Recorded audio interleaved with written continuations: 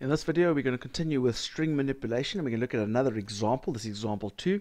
In the first example, we took text that had a whole bunch of data separated by a particular type of symbol, like a comma. In this example, we're going to do the same thing, except for now we've got a whole bunch of different symbols and stuff like that, and there's special rules on how the data is created.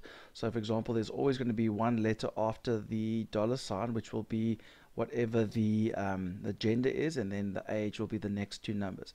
So let's work out how we're going to extract all this information into variables so we can display it individually.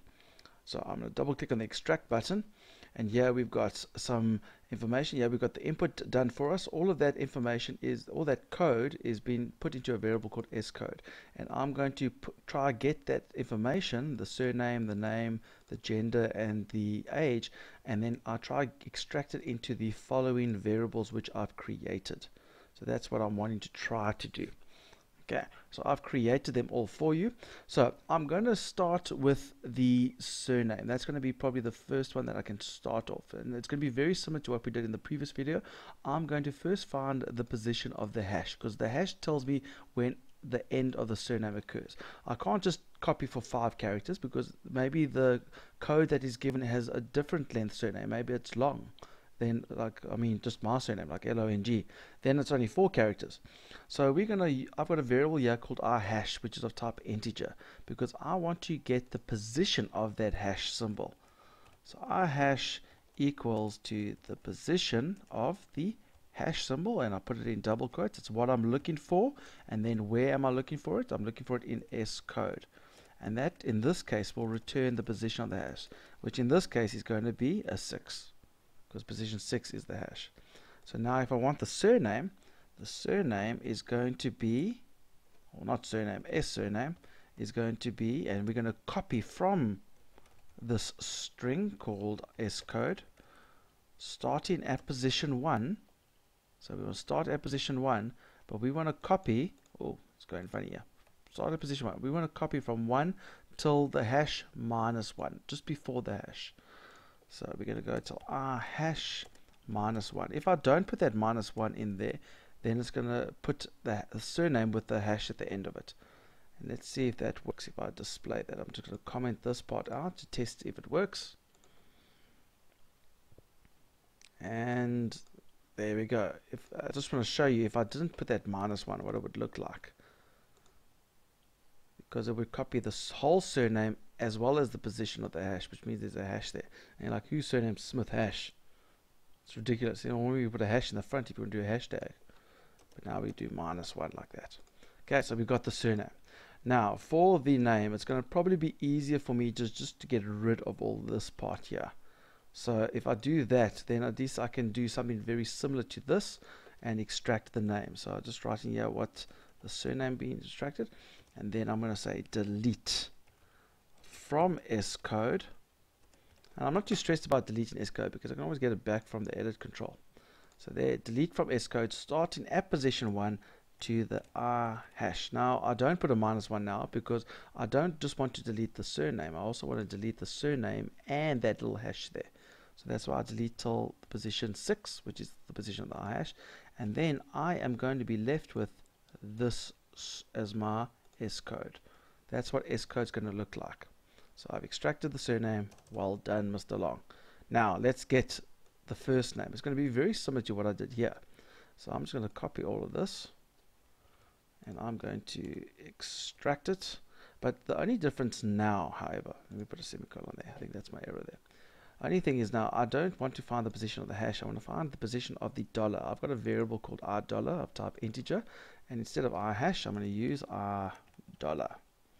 And so instead of looking for the position of the hash, I'm going to look for the position of the dollar in S code. And in this case, it's going to be position 4. Then I'm going to copy into, not S name, but or S surname, but into S name from 1 till the position of the dollar minus 1. That's very similar. So copy from the position of the dollar minus 1. So name is going to have, or S name is going to be just Joe. That's great. Now you could delete everything up until the dollar. That's one way of doing it. You could do that. Um, that's if you want to, or you could just extract everything after that. I'll probably keep with my routine here and delete everything up until the dollar. So I'm going to be left with just the M45. And now I can display name. And so now I'm going to go, oh, the errors. What are my errors? Says surname is incorrect. Mem display. Oh, ah, because I haven't put a semicolon over there. I'm forgetting my semicolons. I'm just, it's a printing error. I'm just checking to see if you guys are awake. So if I do that, Smith and Joe, that's great. Now, how do I get just that M? This is what's left over after I deleted the stuff in front of it. Well, that's just one character, and it's always going to be one character. It's never going to be two or more. So I know it's always going to be one character.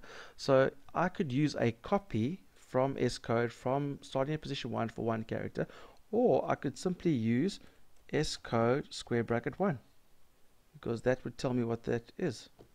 But I don't want to display M on that. I actually want to display gender. So I'm going to use an if statement here. So if S code position 1, if that is equal to the character M, then my gender must equal to, or not gender, S gender, that's the variable there, must equal to male. And if it's not that, else S gender is equal to female.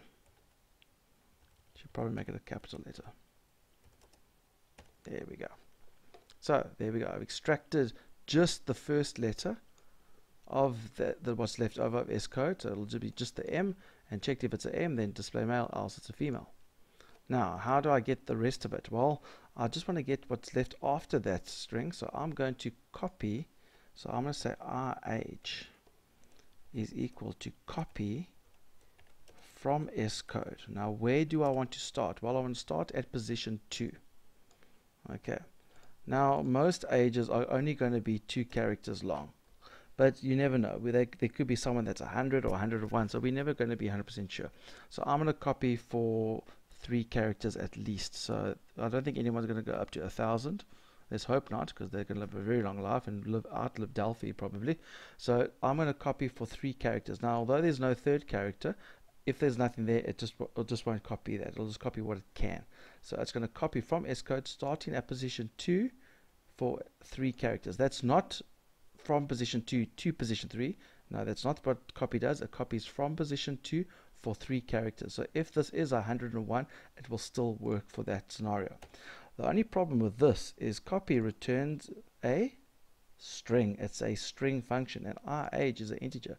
So I must just remember to convert this from a string to an int so that it fits into our age.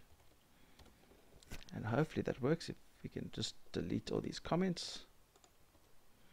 We can run it. And if we display it, there we go, urethra, I mean Rika, it's all the information that we want is there.